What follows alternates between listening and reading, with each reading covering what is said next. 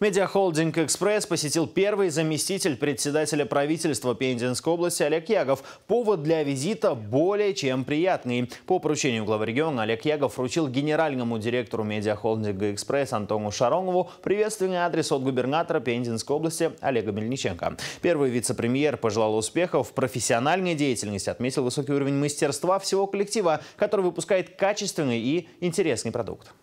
За последние два года, конечно, а, мне приятно видеть, э, как технически вы стали оснащены. Это и автомобили, это и видеокамеры, и вся остальная техника.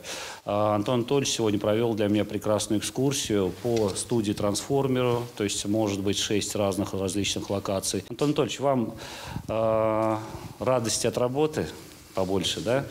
Э, больше достижений, больше зрителей, слушателей и, конечно, здоровья на таком непростом поприще, э, семейного благополучия и, конечно, что вот таких праздничных дней было как можно больше и больше. Спасибо.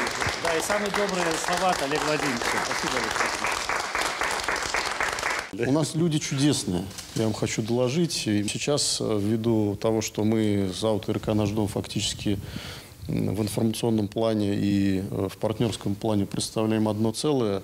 Я хочу сказать, что это самое главное достижение в моей жизни.